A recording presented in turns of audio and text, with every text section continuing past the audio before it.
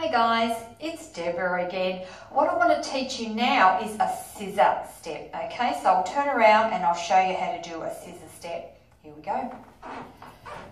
Okay, so a scissor step is side, together, cross, normally with a hold in it, but not necessarily.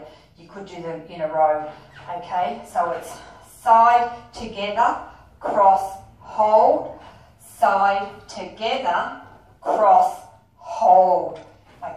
Right and left one. So one, two, three, hold, four, five, six, seven, hold, eight. Or you might do faster ones where there is no hold. So that'd be one, two, three, four, five, six.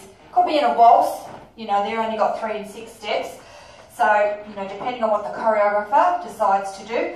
So this is what I'm teaching you, say, with a hold. So one, two, three, hold, four, five, six, seven, hold, eight.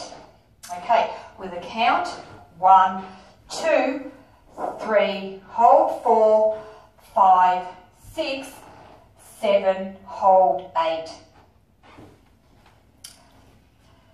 Thank you for watching. Don't forget to subscribe and we'll see you next time. Bye for now.